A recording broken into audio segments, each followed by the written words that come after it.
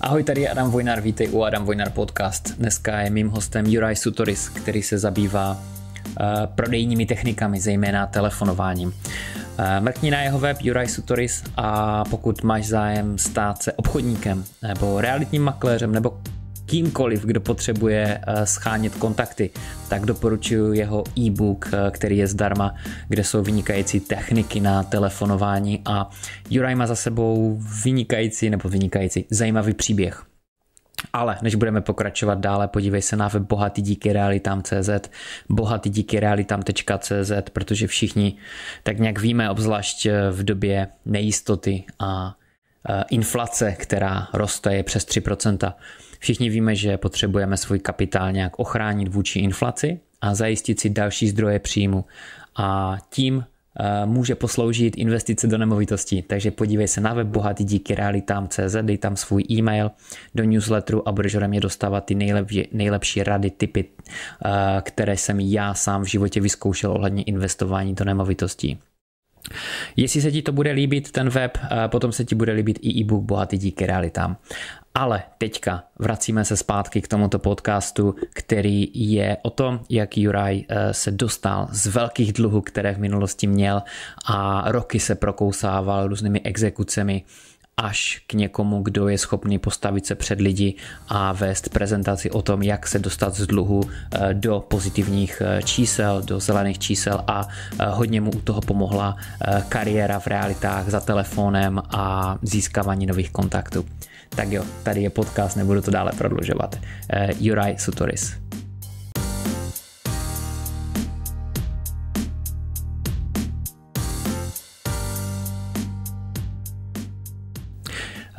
Já čtu právě teďka tvůj e-book a ten mě docela hodně zaujal a musím říct, že i ve velké míře inspiroval.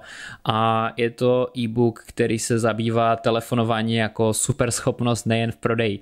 A zaujal mě ze dvou věcí. První věc je tvůj příběh, ke kterému se dostaneme hned za moment, protože ten si myslím je docela hodně šílený. A druhá věc je uh, techniky nebo ne techniky, z čeho se skládá to, komu vlastně prodáváme. 25% získáváme ty uh, kontakty z telefonování, 25% uh, potkáváme lidi osobně, 25% to může být online, dalších 25% něco jiného. Tak tohle jako mi přišlo hodně zajímavé a taková tabulka srovnání a kdo má zájem, tak eh, se může podívat na eh, e-book od eh, Juraje na jeho webové stránce, kterou jsem v intro zmiňoval, takže jestli je e-book, která ještě pořád zdarma, já jsem říkal, že je, tak doufám, že to nebudu muset stříhat a můžou si ho stáhnout a každému, kdo potřebuje telefonovat a prodávat, tak mu hodně pomůže. Juraj, pojďme se pobavit o tom tvojem příběhu. Ty jsi prošel dluhama, exekucema, je to už eh, několik, eh, několik roků, kdy si vlastně do toho spadla, jsi úplně venku, což je super, gratuluju, to je bomba. Jak si do toho spadl? Co se vlastně člověku, který je normálně spořádaný, může stát, že se propadne někde v těch dluhách a tak? Děkuji za otázku. Já ještě chci ti poděkovat, že jsi mě pozval do, to, do tvého podcastu, moc si toho, moc, moc si toho vážím. A k té otázce, no, to je zajímavá otázka vlastně. Co se, co se stane člověku, že se dostane do těch dluhů a do té dluhové pasti, no? Hele, tak jako uh, můžu hodnotit, uh, co se stalo mně, nemůžu hodnotit, co se, co se stává jako lidem obecně. Mně se stalo to, že jsem byl mladý, mě bylo 19, byl jsem naivní, byl jsem neklidný, dělám srandu. Uh, věřil jsem, věřil jsem svým mámě, tam je asi největší problém uh, v té rodině, a, a ne, byla vlastně nějaká neznalost toho odvětví, ve které jsem začal podnikat, no, protože vlastně já jsem, já rád říkám to blbou, já jsem vyučený číšník. Mám tři základní školy, takže vzdělání nějak moc mě uh, nepostihlo, otázka je, jestli to dobře nebo špatně. S tím, že vlastně jsem, uh, jsme se z Moravy ze Zlína přestěhovali do Prahy, uh, dodal jsem si nástavbu, já jsem chtěl na výšku a máma řekla, ne, pojďme do rodinného biznesu a já jsem v tom viděl příležitost jakoby si vydělat peníze, v 19 letech mladý kluk, podnikatel, chtěl jsem si koupit nový auto a tak dále. No, ale tam začaly potom být taky problémy vlastně eh, i ve smlouvách, který jsem podepsal a tak dále, eh, kde jsem vlastně pochopil, že eh, máma si ze mě udělala trošičku bílýho koně hm. a a vlastně to, co mi říkala, nebylo úplně tak realita, že tam byly nějaký, nějaké odstupné, o kterém já jsem nevěděl, ty byly jako v řádu jako velkých, velkých peněz. No ale co se nestalo, Uh, jednak jsem to napsal na hrbu, byl to vlastně pro nájem hotelu u Prahy a měl jsem najednou na starosti celý hotel, uh, bylo tam já nevím, kolem 15 zaměstnanců, náklady 350 tisíc měsíčně plus moje vedlejší náklady na, na, na život. No a byl to vlastně rok 2008-2009 a já jsem tam už založil první obchodní tým, podotýkám, že bylo 19 uh, a největší vlastně profit toho hotelu bylo z toho, kdy jsme prodali uh, firmní školení, pronájem sálu na firmní školení. To znamená, že například tam školila lajka, různé továrny, které byly dokola a tak dále. No a biznes to přešlapal, udeřila velká finanční krize a najednou všichni všechno stopli. Stejně jako teď, když vlastně začal covid šílenství kolem covidu. Mm-hmm. Tak to byl takový flashback trošičku. Mm-hmm. A tím, že vlastně jsem měl hodně mluví školení, tak to bylo takový, jako si říkám, tak je to tu zase. ale, ale tak no. A prakticky já jsem se domluvil v těch 19 na urychlené výpovědi z nájmu, za což děkuji eh, majiteli, to byla velká výhoda, protože jinak ta výpověď byla něco jako kolem půl roku, takhle to byla dva měsíce. No a velice rychle jsem spadl do dluhové pasti, uh, protože jsem měl spoustu věcí nabraných. Eh, ten nájem, to se týkalo toho hotelu, anebo to se týkalo tvého vlastního nájmu? Všeho vlastně. Všeho. Ale uh, týkalo se o čem mluvím, tak to bylo hotelu. Mhm. Pro nájem toho hotelu bylo 150 tisíc. Zbytek byly výplaty, tam jenom energie byly 50 tisíc měsíčně, tuším. No. To je, to je hodně prostě, no. Takže, no.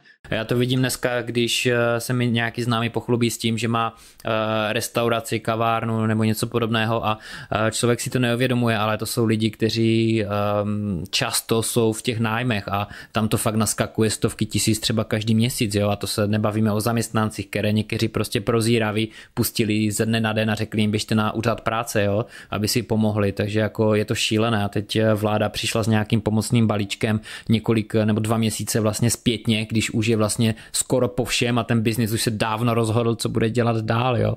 Takže jako nechci kritizovat samozřejmě vládu, všichni jsme uh, zpětně uh, hodně chytří generálové, ale jako co se týká prostředí pro podnikání při této krizi, to je, to je šílenství, takže si dokážu představit prostě uh, mít tyhle závazky, nesplácet, tak člověk udělá všecko pro to, aby se z toho vyvázal jak může, že jo, to je jasný. Je to tak, no, já vlastně jsem se probral ve 20, v 21 a dožil jsem snad všem institucím, ať jako bankovním, nebankovním. Uh, dožil jsem něco, něco přes milion a prakticky každý den mi nabíhaly úroky. Mám takový zážitky, kdy vlastně jsem si dal na leasing auto, zastavila mě kriminálka, nechali mě prostě na pražském postání, mě prostě vyvedli z toho auta, zabavili auto, takže až takhle. Uh, no a pak jsem to neunesl uh, a spadl jsem do drog těžce, no. Uh, pervit na alkohol a heroin. Na několik, na několik temných let. Ty by z toho se dostal, tak to je super teda, no. Tom, No, dá se říct, že jako dostal jsem se abstinu teď. To vidíš zpětně. Eh, myslíš si, že člověk, který do toho jednou spadne, tak eh, i když eh, už je z toho pryč, tak pořád to běhá někomu v hlavě a říká si, jsem pořád ten třeba narkoman, alkoholik, jenom teďka zrovna několik let to prostě neaplikuju, anebo prostě na to jsi schopný úplně zapomenout? To říkáš správně, já si rád připomínám. Já si říkám, když se mě někdo na to zeptá, mě píše poměrně hodně lidí, protože jako mám nějakou publicitu, uh, jsem v nějakých médiích a píše mi, jak jsem se z toho dostal, nebo někdo, že z jejich rodiny s tím má problém a tak dále. No a já říkám, že jsem abstinující závislý. To je jako spadnout do závislosti, to je vlastně eh, identifikováno v lékařství jako, uh, nebo specifikováno jako, jako nemoc a to se, jako, ten nemoc, která se nedá vyléčit, jo, to je prostě, tak když někdo trpí depresema, tak prostě se s tou úplně nevyléčí, akorát to třeba sníží, nebo nevím, jestli takhle můžu přirovnat. Mm-hmm. A rád si to připomínám, občas to napíšu na Facebook, hodně sdílím ten svůj příběh a myslím si, že znám třeba jako abstinující, kteří říkají, že se z toho venku, že se vyléčili, že nepotřebují léčby a tak dále, ale vím, jak ty případy dopadají. Třeba jako když máš kombinovanou závislost, což já mám, tak ta pravděpodobnost, že se z toho dostaneš je 3%, takže kolem 3%. Prakticky, když jsem nastoupil do léčby, já jsem byl v léčbě v hlavě, tak uh, jsem napotkal lidi, kteří byli třeba, jim bylo 21, 22, 23 a byli třeba na desáté léčbě.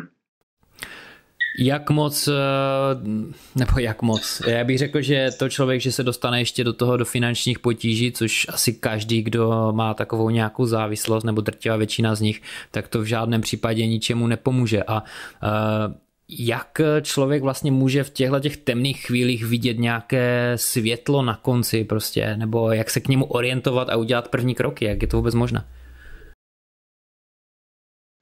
U mě to všechno začalo vidí. Já jsem si pak jako dal, tady vidíte takhle, tak prakticky to je můj jako vision board, já, já s tím hodně jedu, jedu to každý ráno, každý den, je to můj takový maják. A u mě to začalo v těch 22, 23, to si přesně vzpomínám, jsem si napsal první větu, to byla taková moje mantra, afirmace, a bylo to, jsem střízlivý a splatil jsem všechny dluhy. Mm-hmm. A to jsem si opakoval každý den a za devět let se mi to vyplnilo. No. Tak dlouho trvalo, než eh, se to vyplnilo? Hmm. Hodně lidí čeká spíš něco podobného tak eh, do půl roku, a že se jim něco, něco splní a devět let je strašně dlouhá doba. Yeah. No, možná to mohlo být dřív, ale tam byly taky záseky, že třeba já jsem, jak říkám, jsem vyučený číšník, takže jsem začal pinglovat na staromáku, nechali mě prostě umývat nádobí, takže uh, jsem se jako prošel těma normálníma pracema. Lidi, co normálně makají jako ruka, rukama. A je to tvrdá práce, všichni obdivují, jako dělat to celý život, to je jako poklona. A ale věděl jsem, že takhle to jako nedám nikdy, že jo? takže prostě to bylo, že ty úroky třeba nabíhaly 40 tisíc jako každý rok, takže to prostě takové, že jsi něco splatil, ale vlastně nesplatil. A teď jako kolem mě vlastně byli samý peťáci, že jo? takže nikdo nevěděl, jak se dostat z dluhový pasti a, a tak. A jak bych to popsal, no, tak prakticky věděl jsem, že když budu dělat číšníka nebo umývat někde nádobí, tak asi se z toho nikdy nedostanu. Takže jsem šel do obchodu, protože mě obchod baví. Šel jsem dělat do uh, podobného prodejce. Uh, během chvilky jsem byl jako mezi nejlepšíma ve středočeském kraji, ale v té chvíli se stala jedna blbá věc, že vlastně uh, máma uh, měla pokus o sebevraždu, vypila krtka takže to jako poletalo jícen, prostě záchranka, byla ve Střepinách a pak byla v Blázenci, no a pak byly ještě další takový ne- nemilý věci. No a já jsem se z toho složil a vlastně dostal jsem se do těch drog ještě víc, protože jsem to psychicky neunesl.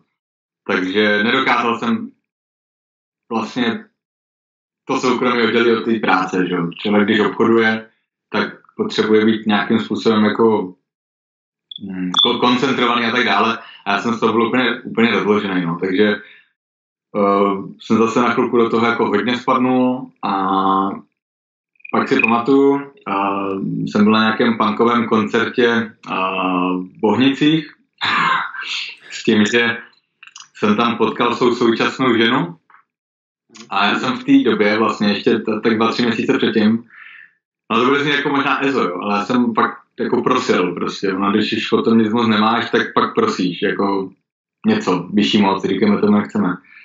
Tak jsem prosil, že bych chtěl zažít lásku, že prostě jsem cítil, že ta láska by mě z toho mohla, by mě prostě mohla dát cílu a pomohla by mě se z toho dostat. No, uh, potkal jsem Anetku a vlastně to bylo do dvou do třech měsíců, do půl roku jsme spolu začali bydlet a pak jsme to nějak začali všechno všechno řešit, eh, pak jsem nastoupil na léčbu, měl jsem zaměstnání stabilní a od té doby vlastně to jde nahoru. No. Mhm. A co myslíš, že v těch nejtemnějších chvílích prostě bylo to, co tě drželo nad vodou, jak jsi dělal v tom eh, call centru, v tom teda uh, si chodil prodávat teda podobným prodejem to autůčko. Uh, když tvoje máma skončila v nemocnici, tak uh, říká si prostě spadám zpátky, je úplný konec a tady končím já jako lidská bytost, anebo tam bylo něco, co jsi říkal, kvůli něčeho musím vydržet dál? Tam se je jednak jsem bral drogy, protože jsem chtěl zapomenout. Že to bylo prostě moc. Těch věcí tam i z mládí prostě bylo hodně, takže to bylo taková pro mě jako vymazání harddisku. Takový relax, jo? že prostě uh, v té realitě pro mě, když jsem byl jako střízlivý, nebyl jsem na drogách, tak vlastně to bylo strašný prostě. Mm-hmm.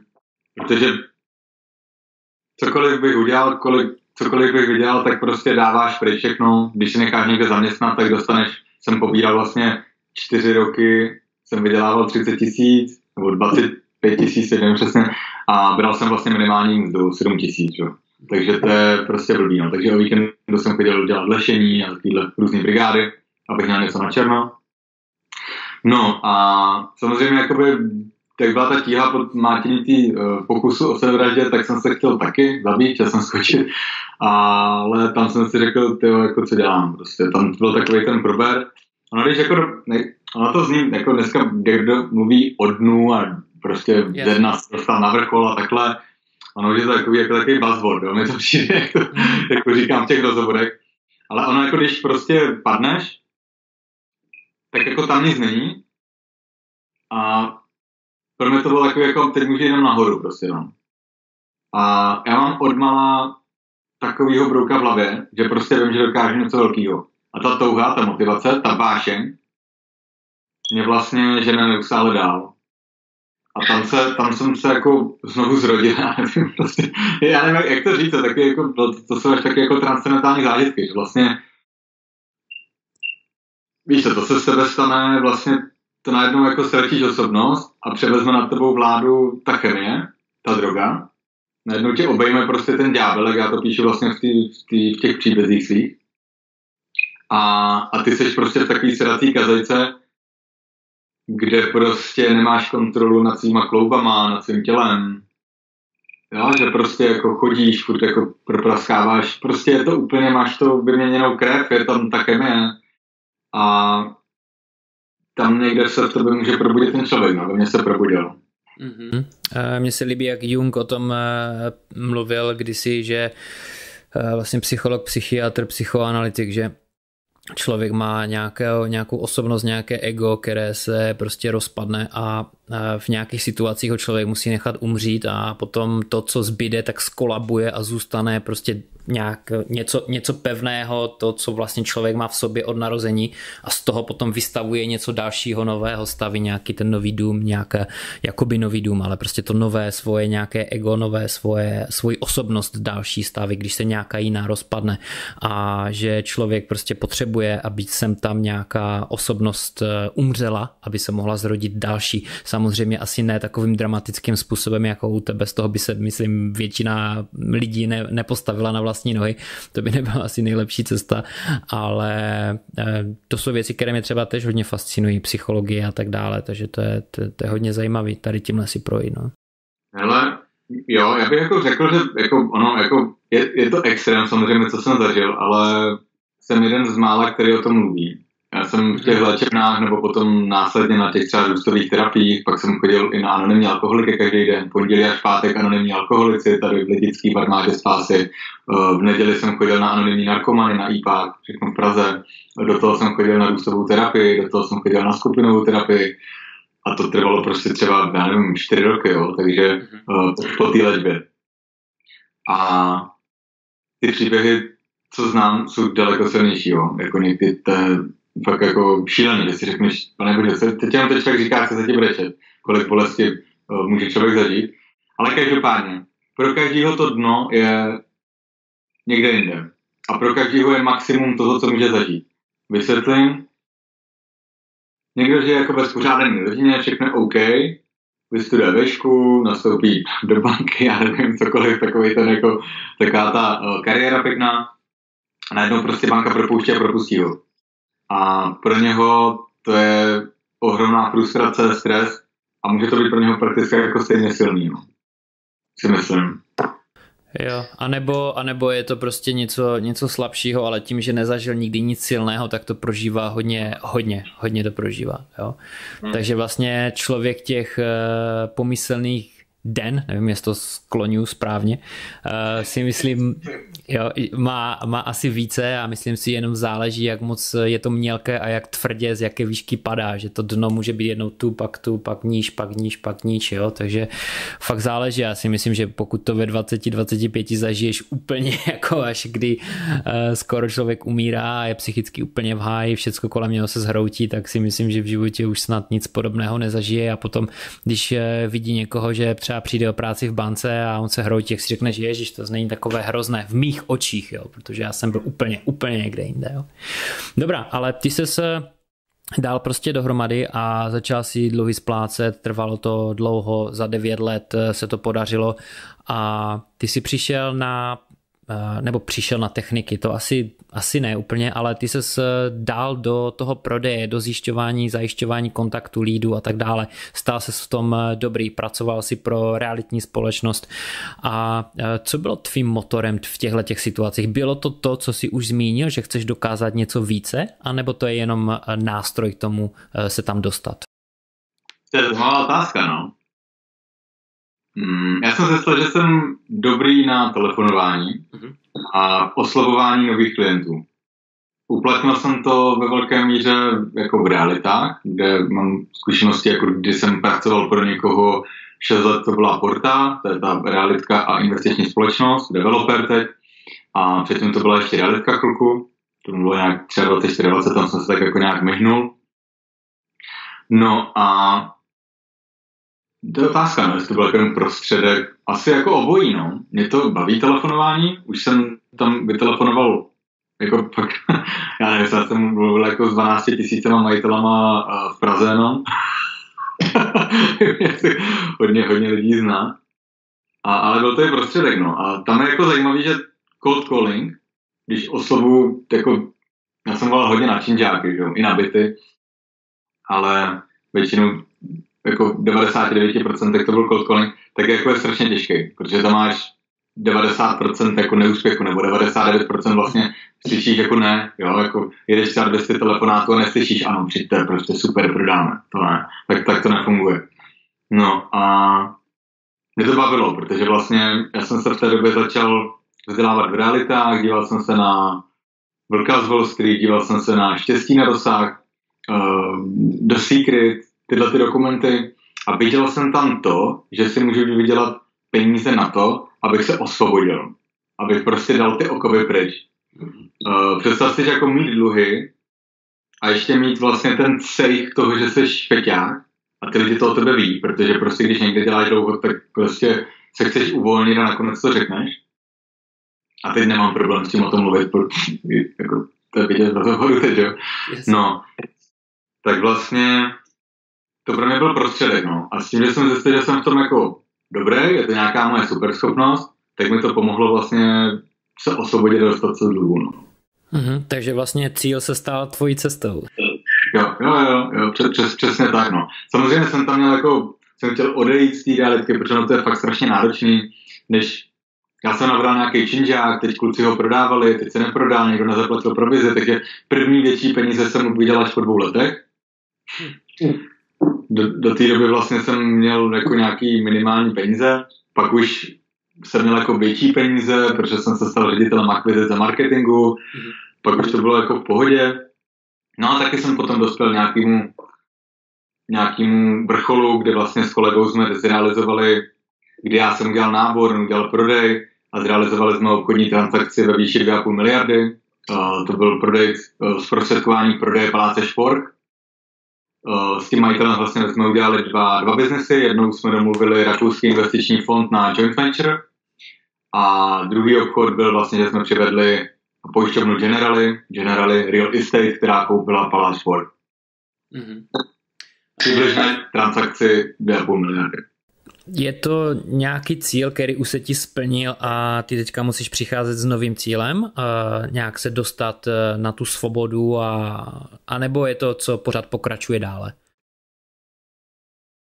Ten cíl jsem si splnil, já jsem chtěl být eh, v jedných novinách, eh, Building World, kde jsou vlastně největší obchodní transakce realitní, které proběhnou v České republice, tam jsme byli. Super, gratulace. Uh, nabral jsem těch činžáků nebo těch investičních nemovitostí přes 250, takže uh, jako, já jsem tam došel na nějakého stropu a neměl jsem vlastně kam růst. Takže ten cíl jsem splnil a teď mám novou vizi. Teď mám vizi stát se vlastně finančně nezávislým. Když to připodobním tak, já se teď dávám znovu uh, bohatý táta, chudý táta. A ve správnou dobu teď myslím. Takže budoval jsem bohatství někomu jinému a teď ho začínám budovat sobě. Super. Co je pro tebe finanční nezávislost? Finanční nezávislost pro mě znamená to, že to jsou slova někoho jiného, ale strašně se mi líbí. A je to to, že nemusím, že bohatství pro mě znamená to, že nemusím měnit svůj čas za peníze někoho jiného. Eh, že nemusíš měnit eh, svůj čas eh, za to, že dostaneš zaplacenou každou korunu. Jinými slovy práce za mzda za hodinovou práci. Přesně tak, že třeba jako nemusím udělat měsíčně tři školení, abych vyšel. Mm-hmm. A vidím obrovskou příležitost v nemovitostech, jednak tomu segmentu rozumím. A teď vlastně uh, jsme dali dokupy party, partu jakoby kamarádů, uh, výborných investorů, výborných obchodníků, kde budeme realizovat spolu nákupy. Já tam budu vlastně takový ten průvodce, který má podíl, podíl ze zisku a mimo to budu investovat uh, své peníze a pronajímat nemovitosti. Uh-huh. Uh, hledáte zákazníky, klienty, něco takového?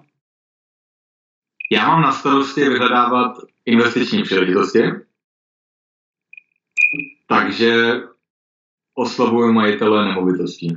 Takže vlastně pokračuješ v tom, v čem jsi začal, ale už ne pro někoho jiného, ale vlastně pro sebe, pro svoje partnery. Přesně tak, přesně tak. Uh, jsem takový náborář na volný noze. Je, skvěle, skvěle. Uh, já si myslím, že respektive já jsem přesvědčený o tom, že člověk musí použít nějakou svoji se svých temných stránek k tomu, a aby ho to hnalo dále. Eh, je hodně různých pouček, knížek, eh, kružnic, a které se musí protnout nějaké spektra, aby člověk zjistil vlastně, co je jeho motivací. Ale to je všechno fajn, jenomže když to absolvuješ, tak za pár dnů si říkáš, že už mám svoji motivaci, vím, co mě baví, jdu potom, ale najednou se to za týden vypaří a je to úplně pryč. Jo? A pokud ale člověk staví na své nějaké, na svém životním problému, Jo, já vím, že to zase zní asi jako kliše, udělej z problému příležitost, ale ono to asi jinak nejde, jako jo, že člověk si sáhne někde na něco a říká si, buď od toho musím rychle pryč a to mě žene, anebo naopak eh, vidím někde mě něco blištivého, krásného, luxusního eh, motivuje, tak jdu zatím. Takže buď eh, mi to stojí za zadkem a kope mě to dopředu, anebo je to přede mnou a přitahuje mě to k sobě. Jo? A ideálně, když tam jsou obě dvě věci a já si myslím, že pokud jde o něco, co bylo bolestivé a člověk to zažil, tak to slouží jako nejlepší motivace úplně, úplně snad ve všem. Jo, že přicházet na to jako hlavou prostě moc úplně nejde a nefunguje. Když nás si bolí, no. jak, uh, jak říká jeden cestovatel, uh, zážitky nemusí být pozitivní, ale musí být intenzivní. ano, ano. ono, to, ono to občas bolí, jsou to ty nejlepší lekce. Já se neustále učím, teď třeba se stavím svůj barák, nebo náš barák jako s manželkou ale skrze stavbě se věnuju hodně já, tak to spíš myslím, ona se vychovává synka, Robina, šestiměsíčního, a já to dělám tak, že vlastně to děláme své pomocí. Takže si jakoby řídím svoji stavební firmu, ty profese a tak dále a sám některé, některé úkony, některé řemesla vykonávám, i když nejsem vůbec jako manuálně zručný. Já jsem jako manuálně nezručný spíše. Já jsem spíš na to mluvení a na ten obchod. A jsem rád, že to jako zjišťuju, no, protože stavařina je tvrdá škola, tam když něco posereš, tak prostě buď to musíš zbourat, postavit znovu, propálíš peníze, nebo ti to stojí. Mm-hmm. Takže mm, jako stojí, stojí práce. Tam, tam, tam, se, tam se chyby neodpouštějí, co? Prosím? Tam se chyby neodpouštějí. Jo, jo, je to, je to, jako, je to, je to fakt zajímavý. No. Takže development, i když taky mikrodevelopment mě baví, eh, chtěl bych se pustit do větších projektů, třeba 30-50 rodinných domků uh, v Jižních Čechách mm-hmm. a do toho nějaké jako menší, menší věci, rychlý exity. Takže, takže tak, no. A abych odpověděl ještě, to na to nebyla ani otázka, spíš tak rozvedu to, to, to, co jsi říkal, no. Každý v sobě má podle mě nějakou vášeň. A když zjistíš, čem ta vášeň je, tak je to OK. Já si myslím, že hodně lidí se svý vášně lekne, když jsou to třeba, já nevím, u mě to nejsou primárně peníze, u mě to je vlastně hrát tu hru dobře. A když vyřešíš potřebu toho, že ty, jasně, je to Kiyosaki, že ty peníze budou pracovat pro tebe, tak vlastně jsi podle mě na další úrovni, uh, lidské úrovni, protože vyřešíš ten kapitalismus, který je kolem tebe. Kdežto, když budeš celou dobu pracovat na svém někoho jiného, tak můžeš být spokojený, ano, ale musíš se s něčím spokojit. Někomu to stačí, někomu to nestačí a já vím, že to, co dělám, dělám dobře a zlepšuju se v tom. Samozřejmě dělám chyby a tak, ale to je právě ono. Když člověk dělá chyby, tak se posunuje. A prakticky teď buď to můžeš dělat jako v takové míře, že prostě se zajistíš, anebo to můžeš dělat v takové míře, že ti to stačí na ten měsíc dopředu. A já chci započít vlastně Jmenuji se Juraj Sutoris prostě, teď zakládáme eh, pokračování rodu a já chci být ten Juraj, ten táta, ten děda, ten praděda, který vlastně započne to generační bohatství, který bych chtěl předávat dál. Protože jsme to eh, neměli, nebo takhle, my jsme to měli, mě to říkala babička, že vlastně eh, od dědy, táta, máma byly jako modré krve šlechticové z Maďarska a za první republiky o všechno přišli Eh, pak tam páchali nějaký sebevraždy a tak dále. Najednou měli povoz eh, s jedním kufrem a šli. A já jsem to celou dobu cítil, že něco takového, na rovinu, že něco takového prostě v sobě jakoby máme, prostě v těch genech. Mm-hmm. A mě to babička řekla až někdy před pár lety, před třeba třema, čtyřma lety, já jsem si říkal, já jsem to tušil prostě. a chci to vlastně začít jako dál. Dokonce tím, že vlastně jsem se odhalil, tak jsem udělal takzvanou jako katarzi v tom příběhu a, a tak no. Možná to zní jako divně, ale, ale to, je moje, to je moje realita. Jak bys poradil někomu, kdo prostě pochází z domácnosti, kde všecko klapalo, nebo nikdy nic neklápe stoprocentně, ale eh, nebyly tam velké problémy, nebyl tam alkohol, nebyly tam drogy, bylo to všechno tak nějak v pohodě a vlastně tomu člověku nic nechybí, jenomže pak mu je 35 a 30 a on vlastně si říká, to, co dělám, prostě to není ono a já neumím jít dál, neumím z toho vystoupit a neumím vlastně najít v sobě tu vášeň. Je něco, co třeba na to přišel, že se dá uh, odhalit v takovém člověku? Jo. Zase může být jako, jak jsem na to šel já. Já jsem taky hnedka neviděl nemovitosti a hnedka jsem před sebou neměl nějaký plán, jo. Ale člověk hledá, člověk hledá, protože je zádama ke stěně. Jenomže tomu, kterému vlastně celý život nic nechybí, tak vlastně nebyl nikdy opřený zádama o stěnu, kde se musel rozhodnout jako tohle, anebo si vyškubu vlasy a za pár let mě to úplně udusí ta situace. Jo. Prostě pořád je to tak nějak v pohodě, ale je to tak nějak a po nějaké době se to nazbírá a je to všecko na hovno. Hm, no, jasně, jasně, rozumím. Tak asi když jako žiješ prostě, no jasně, ty nemáš to srovnání, no, tak jako můžeme začít od toho, že vlastně začneš zkoušet něco, co, co, aktuálně, co aktuálně neděláš, no. Začneš dělat ty chyby. Podle mě, když začneš dělat ty chyby, tak ti to tam ukazuje tvoje silné stránky, slabé stránky, odstěhuj se od rodičů, začni bydlet sám prostě. A já třeba jsem k tomu použil jednu věc, vlastně, kterou, kterou jsem jako někdy několikrát řekl, a to bylo to, že já si myslím, že lidi brzdí strach. Ale je jejich vlastní. A většinou ten tvůj strach je neopodstatněný. To jsou nějaké obavy, které vlastně ani nemusí být reální. Jsou to spíš tvoje nějaké brzdy, které jsou převlečeny za ten strach. A já jsem si řekl před ten, tři čtvrtě rokem, že se na týden přestanu bát. Já jsem si dal slib v neděli večer, že se na týden přestanu bát. Že přestanu mít strach a budu si psát věci, které bych dělal. A teď najednou tam bylo. Začnu podnikat. Půjdu do role investora. Budu hodně mluvit na veřejnosti. Chtěl bych prostě být v rozhovorech to jsou věci, které jsi začal v tom týdnu psát a oni tím, že jsi řekl na týden si dávám prostě pohov od strachu, tak se ti začaly objevovat v hlavě? A nebo to bylo něco jako denní sen, snění? A nebo to bylo jako, že už si to začal všechno dělat? Uh, ne, začalo se teprve jako vyplavovat. Mm-hmm. Že většinou třeba si řekneš, víš co, člověk, který je prostě zaměstnaný celý život, tak takový to toužím mít prostě jednou vlastní kavárnu. Jednou mít vlastní kavárnu, jasně. Ale je tam ten strach, protože najednou prostě úplně ta tíha na tebe jako padne, tak to rychle dáš pryč. No a když si dáš ten týden, že vlastně si řekne, hele, já se nebojím, abych to dělal. A najednou prostě úplně, teď mi jde jakoby to mrazení pozádek, tak to je ono, to je ta vášeň, to je ta prostě, se říká passion, že jo. A to je to, co prostě je dobrý. A já jsem to dělal někdy v červenci, eh, v roce 2019, a to jsem měl zlatý flag vlastně u toho developera. Jsem bral velký peníze, měl jsem jakž tak provize, eh, všechno by bylo v pohodě, byl bych tam až do 50, všichni by byli šťastní. A manželka byla uh, nevím, ve čtvrtém, pátém měsíci těhotenství, měli jsme zastavený barák. No a já jsem přišel vlastně domů, nějak jsem se to nechával jako všechno uzrát a říkám, já dám výpověď a půjdu na volnou nohu. Ano, ty se zbláznil prostě úplně.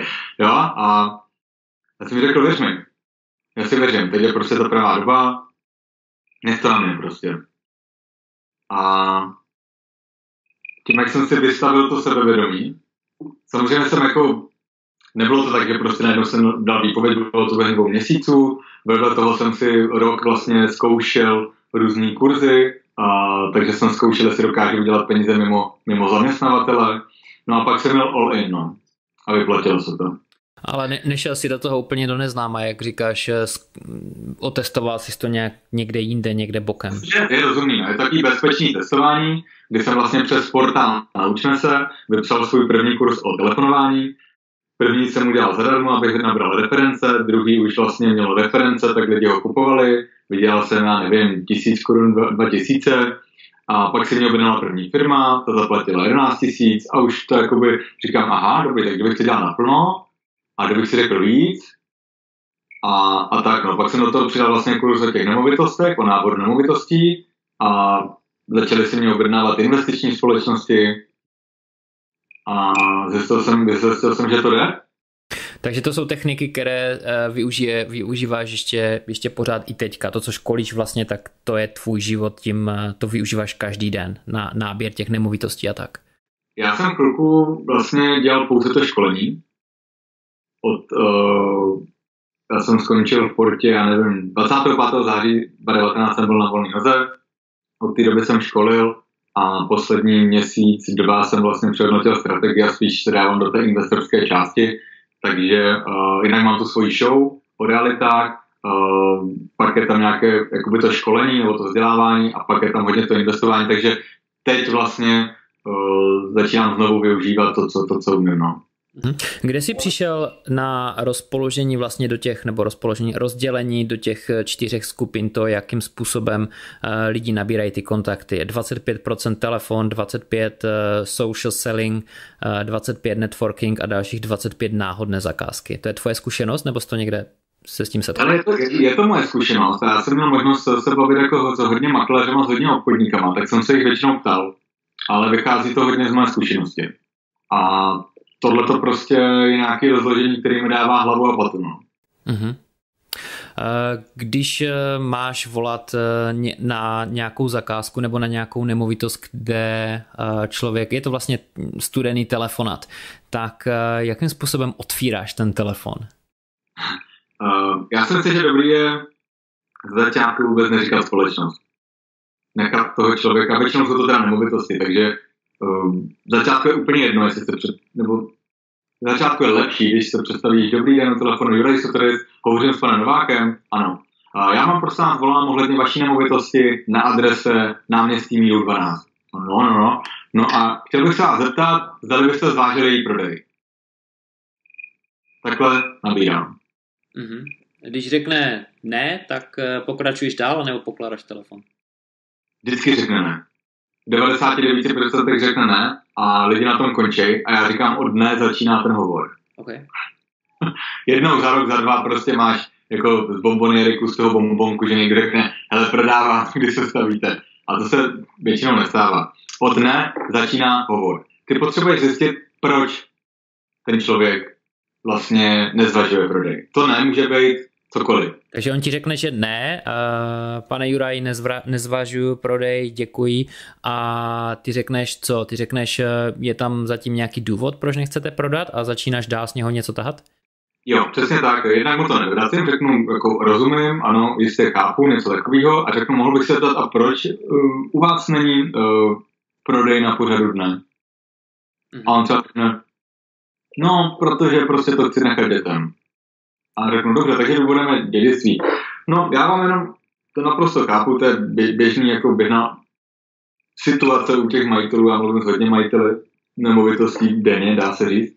No a určitá skupina vlastně těch majitelů uh, ještě zvažuje to, že vlastně jedna věc je nechat tu nemovitost v dědictví té rodině a druhá věc je vlastně rozdělit peníze uh, ještě za vašeho života. Hm. A to každý řeší, protože tam vlastně udeříš trošičku na hlavičku ten hřebíček v tom, že když necháš dědění majetku, tak většinou tam dochází prostě k rodinným hádkám, šarvátkám a já ještě prostě přidám do pléna a řeknu, no, za vaše děti ručíte, ale neručíte za ty partnery těch dětí. Mm-hmm. Oni, to máte pravdu. A prostě už jako takhle přitakávají. No. A někomu se to může zdát ostré, mně se to ostré nezdá, protože jsem mluvil jako fakt s tisíce majitelama. A oni tohle to v hlavě mají, protože představ si, že máš ten činžák tak na, a máš ty děti, tak na to prostě myslíš. Málo kdo má činžák ve 20, spíš mluvím s majitelama, který, kterým je prostě 50 plus, takže už to jako je na pořadu dne tohle řešení, komu předat majetek, jestli nechat nemovitost a ať to zdědějí děti. Jo, ale prostě tak, tak to je. Takže když to jde přes to dědictví, nebo když to řeknu, to je naše rodinné stříbro a tak dále, tak uh, to je jako dobrý, dobrý otvírák pro ten hovor. No. A pak je, pak je nalákám na odhad. Magnet je odhad. Uh-huh. A kde, kde vybíráš ty eh, majitele těch činžáků? Jedeš prostě přes eh, třeba katastr nemovitostí, anebo... Ale klasicky uh, jsou nejjednodušší asi je to katastr2.cz, kde máš vlastně leteckou mapu z vrchu, vidíš jako normálně střechy a tak dále, tak takový ten, taková ta pomůcka, že vlastně uh, se díváš tam, kde je nezrekonstruovaný, nezrekonstruovaná půda, tak tam asi budou nějaké finanční problémy a mohl by být, nebo by mohl být nějaký investiční, nějaká investiční uh, potenciál vlastně pro toho investora, tak na ty jsem volal a volal jsem do čtyř majitelů. No. Takže nejdůležitější uh, není uh, to o tom tak uh, přesvědčit každého o tom, že chce prodat, ale najít toho správně motivovaného prodejce? Jo, přesně tak, přesně tak, teď, teď jste řekl úplně správně. Tohle bylo moje velké zjištění asi po dvou letech, kdy jsem se snažil uhnat těch 100% a pak jsem přišel na to, že vlastně já potřebuji rychle identifikovat, abych se dostal do těch 10-15% a s něma pracovat. Ano. Proto teda jsem ten hovor zkrátil už jako do tří vět abych si nevypálil moc energie, protože pak, když voláš na 30 činžáků nebo 30, nemovitost, 30 nemovitostí denně a z každé bys vykládal 5 minut, tak to dáš jako dva, tři dny. Jo, já jsem s telefonování skončil v nemocnici, kde jsem telefonoval jako fakt jako celý dny a přetížil jsem se takový to vyhoření a zjistil jsem, že je lepší být jako efektivní a spíš jít jako si tam být ta motivace té protistrany spolupracovat, že? Přesně, ty nepřesvědčíš někoho asi, aby prodal činťák. Hmm. To si úplně nemyslím.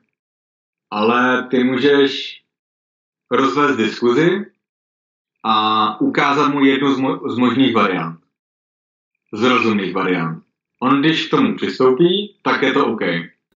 Já jsem dneska zrovna ve webináři eh, pro svoji skupinu eh, ohledně investování mluvil o tom, že eh, člověk může být vynikající vyjednavač, ale musí ti taky hrát ta doba do karet. Ještě nedávno to bylo tak, že když jsem volal na nemovitost, tak se tam předháněli lidi a přihazovali na tu nemovitost.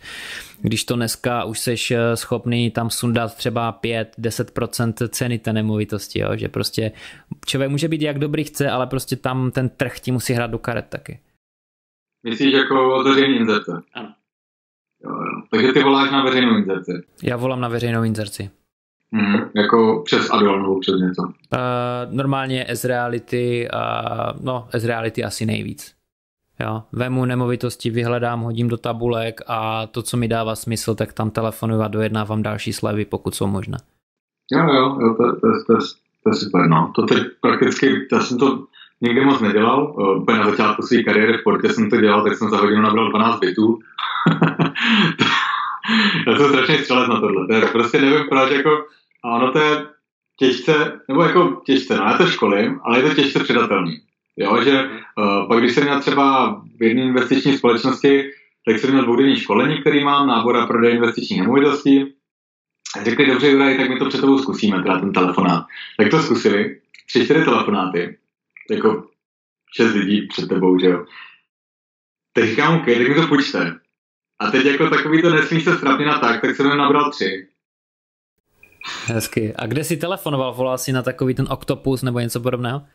Ne, na činžáky, cold calling. Uh, na veřejnou inzerci, jako se přiznám, uh, jsem ty další dobu nevolal, uh, teď, teď budu navolávat, ale jako, jako investor to asi není úplně tak těžký. Hmm. Eh, mě zaujala taky eh, část eh, kapitoly ohledně té motivace zvednout ten telefon a telefonovat a dvojka, naspídovat se. Jo, žádné prášky, nic takového, zkratky neexistují, jasný, ale mně se líbí že být ve 100% motivaci na cokoliv po 24 hodin denně, 7 dní v týdnu prostě neexistuje a mně se líbí ta věc, otevřte si YouTube, stáhněte si nebo označte videa, které vás prostě motivují, nadopujte se třeba předtím a spustte ten nějaký blok telefonování, třeba hodinový, dvouhodinový a tímhle to nějak prostě udržujte. To si myslím, že je super a myslím si, že i špičkoví sportovci, atleti a nejenom ti herci, kdokoliv, kdo musí podat výkon, dělá něco podobného nějakým svým způsobem. To znamená, že v té hlavě mi to musí přepnout a já musím to alter e- ego nějaké najít v sobě a mám nějaký svůj rituál, jak to vlastně spustím. Někdo třeba má poklep hokejkou o zem, někdo si nějak oblíká dres a někdo má třeba pár YouTube videí, jako to se mi líbí. Tohle používáš ještě dneska? Uh, hele, určitě, určitě jo.